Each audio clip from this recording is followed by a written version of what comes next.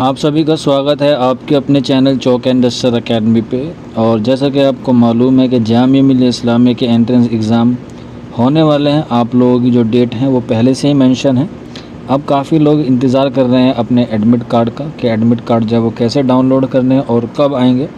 तो आज आपको मैं बताता हूँ कि आपके जो एडमिट कार्ड का लिंक है और आपको एडमिट कार्ड जो है वो कहाँ से डाउनलोड कर रहे हैं। तो आप कोई सी भी क्लास के हों यूजी के हों पीजी के हों बीटेक के हों या बी आर्ट्स के हों तो यहाँ पे आप देख सकते हैं, ऊपर से छठे नंबर पे लिखा हुआ है, click here to apply for UG and P PG session 2022 और 23 में।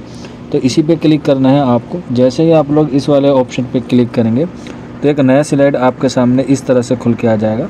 ये जामिया मिली इस्लामिया का डैशबोर्ड होता है, जिस पर आपको साइन इन करके जो है वो आपको अपना अकाउंट लॉगिन करना होता है। अब आपको रजिस्ट्रेशन नहीं करना, अब आपको साइन इन करना है।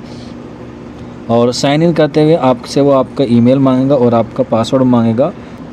तो जैसे ही आप इसमें साइन इन करेंगे, आप अपना आईडी पासवर्ड डालेंगे तो एक नया स्लाइड आपका आपका डैशबोर्ड खुल के आ जाएगा। यहाँ पे आप देख सकते हैं डैशबोर्ड लिखा हुआ है।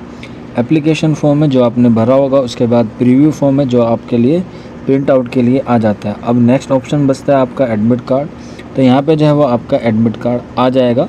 एग्ज़ाम एडमिट कार्ड में जैसे ही आप क्लिक करेंगे, यानी कि ऑप्शन थर्ड वाले पे एग्ज़ाम एडमिट कार्ड पे तो आपको एक नए स्लाइड खुल के आ जाएगा। तो इस तरह से आप देख सकते हैं, ये एक बच्चे का एडमिट कार्ड है, जो डाउनलोड हो गया है। ये बच्चा यूजी का था इसका जो सेंटर है, वो आप देख सकते हैं, जाम मिल इस्लामिया में है, गेट नंबर सेवन पे। तो आप लोग भी जो है, वो अपना एडमिट कार्ड डाउनलोड कर सकते हैं, और कोई दिक्कत हो या कोई परेशानी हो तो आप नीचे कमेंट बॉक्स में पूछ सकते हैं। शुक्रिया।